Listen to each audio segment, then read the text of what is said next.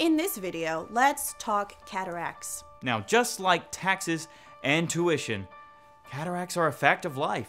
What is a cataract? A cataract is a clouding of the natural lens in the eye. Similar to looking through a dirty window, a cloudy lens makes it very difficult to see through. It is important to understand that cataracts are not usually considered a disease, since they are almost always part of the normal aging process of the natural lens. Now, wrinkles appear in aging skin, cataracts appear in aging eyes. You might be wondering, what is the lens of the eye and how does it get cloudy?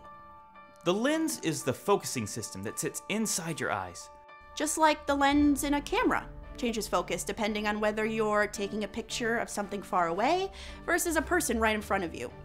Well, the same thing happens inside your eyes. The lens of your eye needs to change focus depending on where you're looking. Fun fact the lens is actually one of the first structures to develop as a fetus in the womb. As a result, your lens is actually older than you are. Most people are born with a perfectly clear lens, which allows light to travel to the back of the eye in order to see more clearly. However, the proteins in the lens eventually begin to break down and clump together. With time and layer buildup, the lens becomes yellow and cloudy. This happens naturally. Everyone will eventually develop this type of cataract as they get older. Symptoms from cataracts range from noticing glare from headlights and oncoming traffic, especially when driving at night, to just plain blurry vision. There are many causes for cataracts, most commonly aging. Other causes include injury to the eyes, excessive sun exposure, and smoking. Anti-reflective coating as well as certain tints in glasses can be helpful in dealing with early cataract symptoms.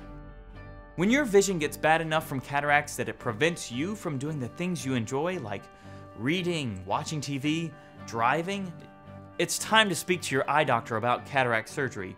Although any kind of surgery can be scary, cataract surgery is the most common surgery in the United States. It is a quick procedure and often has minimal to no complications.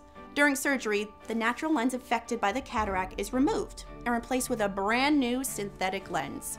Your vision can significantly improve after having cataract surgery, and it is very likely you will see the world more clearly again. Thanks for watching our video on cataracts. To find out more about your eyes, come check out our website at eyeinquire.com, where learning about essential medical information about your eyes is now simpler than ever.